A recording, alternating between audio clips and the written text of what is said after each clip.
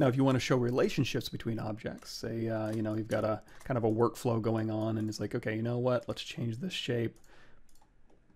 And if you want to resize a shape, you can just click and drag these corners here. You can also hold down Alt and that'll drag it from the middle. So you can kind of make sure everything fits in there. And again, you can swap out these shapes to whatever you'd like. Maybe give this one a border.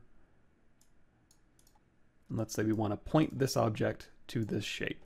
So we're going to take this shape here and you can see right here on the corners, or on the sides I should say, uh, there's a little dot. You can click and drag that dot and you can drag it over to any object. So you can stick it, stick the line to this one, you can stick it to the top, you can stick it to the bottom, you can stick it over here, uh, and it'll kind of snap uh, right in there. So let's say we want to put that on the top, and then as we move this shape, you're going to see that's going to follow. Now, one thing that's going to happen is you're going to see when you move the shape down here, uh, it is going to stick just to the top because that's where we told it to go. When we drag this line out, we stuck it to the top, uh, the left and the right. You're going to see there's also another option in the middle. So if you click and drag a line and you stick it to the middle, now when we move this around, the arrow will automatically adjust based on where it is in space. So you won't get that overlappy thing. It'll just keep moving that line around the object. Now lines are cool. You can click on the line itself. You see you have a bunch of options in here. So you can say, you know what, I want an arrow on both sides, uh, or I just want an arrow on one side. So we'll click none. Uh, if you don't want you don't want an arrow on either side, you can click the line and you can say none and none, or you can swap these. So it's like, oh, you know what, I want to reverse this arrow direction. Just click that little swap there. And what arrow type you want. And if you go into uh, the type itself, you can go in here and you can thicken up or thin out this line.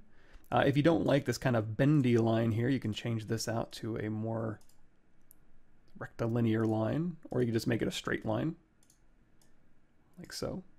And if you want to snap this, uh, you know, want this object to be right in the middle, you just click and drag and eventually it'll look and fine. Like this object here, you'll see you'll get a little blue line that goes straight across. So you can actually just visually align uh, objects. And that's true with uh, any number of things. So if you have a bunch of objects here, and we're just moving this around, it's like, I want this one to match this, the middle of that one. Just click and drag and it'll shoot that little blue line there telling you that it's aligned. Same thing for this one, we can line it this way, and this one we can line here. But now we have a line connecting. Of course, we can change this to be, you know, green or whatever type uh, you want. You can change the uh, the line type to dashes here, or the uh, dashes are dotted. And you can also add text. If you just double click the line, you can start typing.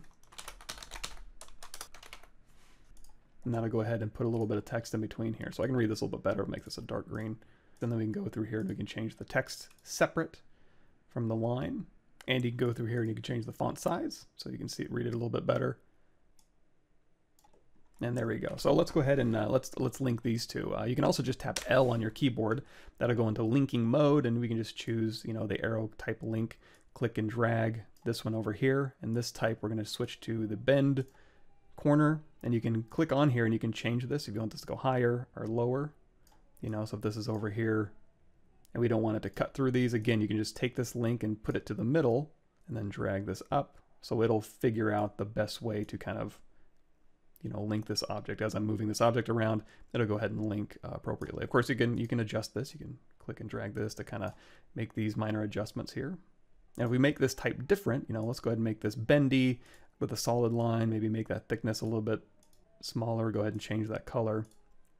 We can go through here and you see we have these little white dots here. So we double click those, that'll get rid of those white dots. So here's just a very simple line here. If you need a little bit more control, you can click on your object and you can click and move to kind of move this line around. And now you can see I have a white dot with two blue dots. You can click this blue dot, you can add another white dot. So you're just adding more and more dots to give you more control over the path. Again, if you don't want those, just double click the white dots and that'll get you back down to your, your plain line. Now, if you like the formatting of this line or the formatting of this line, you can copy and paste it again, just like we did for the shapes.